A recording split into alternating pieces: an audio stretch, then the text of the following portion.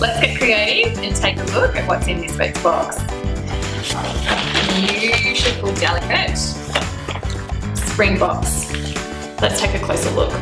Chrysanthemums, tulips, Eriostemon, and the amazing blossom. Anything that has a really woody stem is always a great idea to cut up the stem just to open the surface area so that it can drink more. Just position the blossom to one side.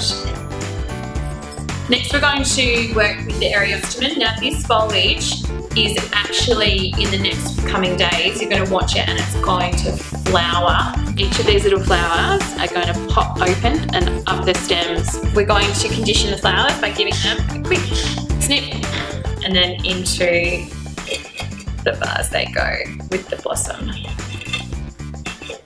Next we're going to work with the chrysanthemums. These flowers are all going to open up the stem so you need to pay attention to where you position them in the arrangement. Reduce the stem height or the stem length a little bit by just giving them a cut.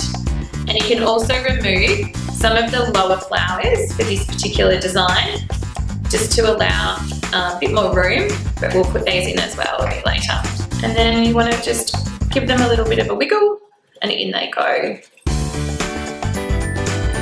Next we're going to work with the beautiful tulips. Give them a little trim. If there's a leaf like this, just pull it down to remove. That way when you put it amongst the other flowers, it'll fit really nicely. You want to make sure that you give the tulips some extra room to grow because they will um, continue to grow towards the light during the week as they open. With the little short crizzy buds that you cut off earlier, what you want to do is just cluster them into little groups of three, remove any little bits of foliage, give them a quick snip and just nestle them amongst the neck of the vase, just like that, making sure that the water is nice and high.